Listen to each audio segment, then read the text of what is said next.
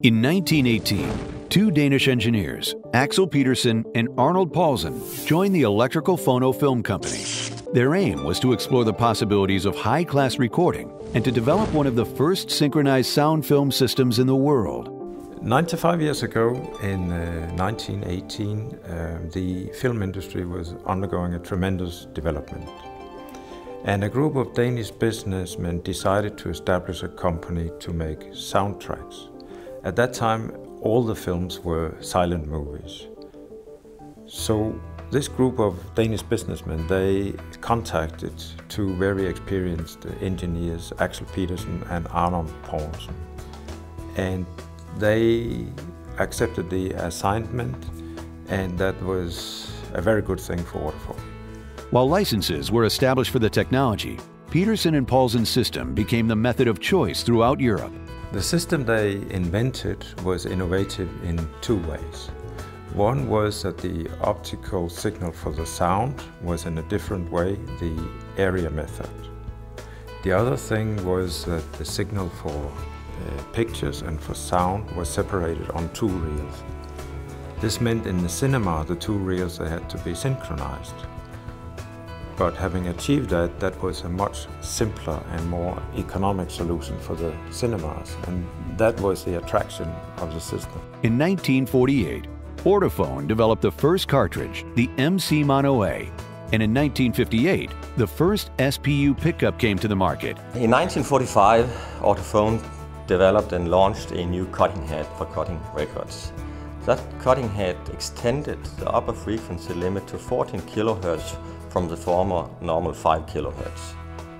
So in order to, to be able to, to use that new frequency range, a new cartridge also has to be developed. That cartridge was developed by Ortofon and launched in 1948. In 1958, Ortofon launched the next new cartridge, the SPU. That cartridge had a totally new design. It was a moving coil design uh, which means that the electrical output voltage is generated by a coil moving in a stationary magnetic field.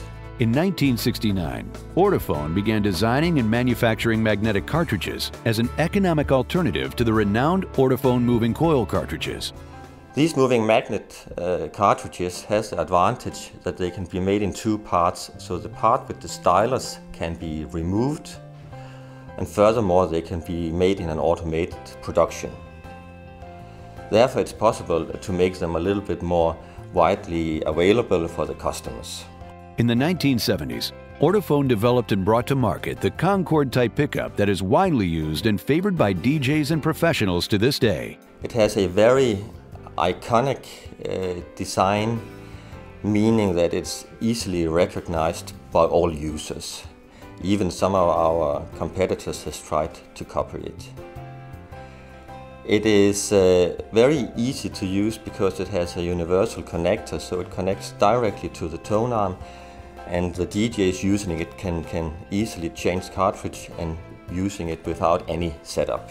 Since the 1980s, the development of new MC pickups have been driven by new materials and process technologies. The magnet used in earlier cartridges would normally be uh, Alnico magnets or ferrite magnets, which are with very low uh, energy density. But the, the samarium cobalt and neodymium magnets made it possible to achieve greater, larger magnetic fields in the air gap where the coil is sitting, but also at the same time reducing the size. Five years ago, Ortofon saw the potential for SLM and pioneered the use of this new technology for consumer products. Following this, SPU A90th and MCA90 cartridges were introduced as a celebration of Ortofon's 90th anniversary. Well, as we always do, we optimize the functionality of the part to give the best product to the company. So in that matter, we had a meeting where we actually discussed about the freedom of the geometry and the freedom of the material properties. Uh, then we have been uh, implemented during diff different loops and optimize uh, the product. The development of these new cartridges was the result of numerous years of research and the emergence of new manufacturing technology called rapid manufacturing. When you start with a 3D file, you've got it on your computer and you slice it layer by layer and then you build it on top of each other.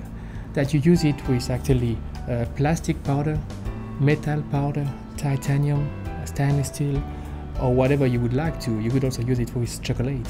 Then you just build it on top of each other. So in itself, the system is about the same. It's just the way you are doing the things.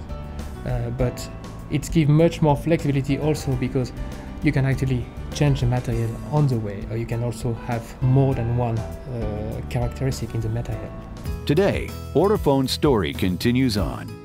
Ortofon's competencies in materials, magnetism, acoustics, and micromechanics have led to the establishment of a separate business-to-business division, Ortofon Microtech, which sells components to the hearing aid industry.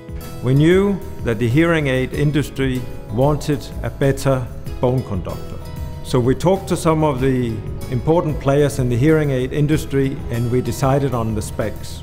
We took the prototype, we worked with the geometry, we worked with the components, we worked with the different parameters, we worked with the assembly processes. We did an enormous amount of testing and trial and we came out with a much better product.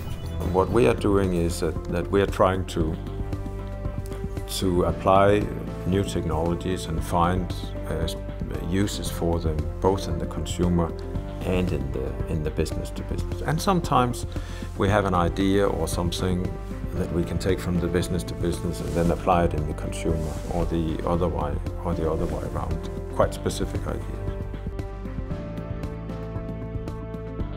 Ortofon has a long history that upholds the best traditions by being innovative and technologically advanced. For more information, visit www.ortofon.com or call 011 4554 911910.